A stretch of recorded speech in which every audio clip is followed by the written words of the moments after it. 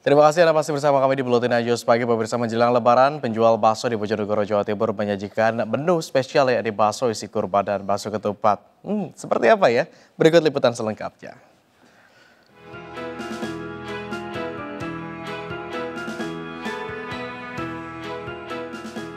Bakso.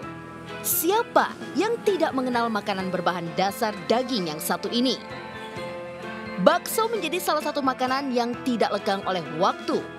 Namun, bagaimana ya jika bakso dikombinasikan dengan kurma ataupun ketupat? Ya, menjelang lebaran pedagang bakso di Komplek Pasar Kelurahan Banjarejo, Kecamatan Kota Bojonegoro, Jawa Timur menyajikan menu bakso dengan isi kurma dan bakso ketupat.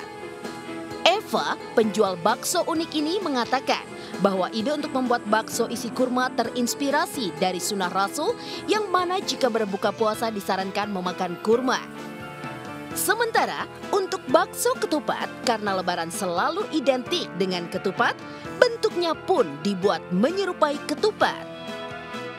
Untuk menikmati bakso kurma dan ketupat ini, Anda cukup mengeluarkan Rp12.000 per porsinya. Yang dipesan menu bakso kurma. Tahu ya. ya Rasanya gimana? rasanya unik manis dan gurih.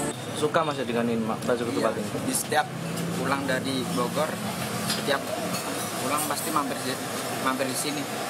Alhamdulillah selama Ramadan ini peminatnya cukup banyak karena memang eh, banyak berdatangan dari luar kota yang ingin pulang kampung itu langsung gimana ya? Ingin merasakan momen makan di kampung halaman. Adanya dua menu spesial bakso kurma dan bakso ketupat ini membuat omset penjualan meningkat hingga 100%. Dari Bojonegoro, Jawa Timur, Dedi Mahdi, iNews melaporkan.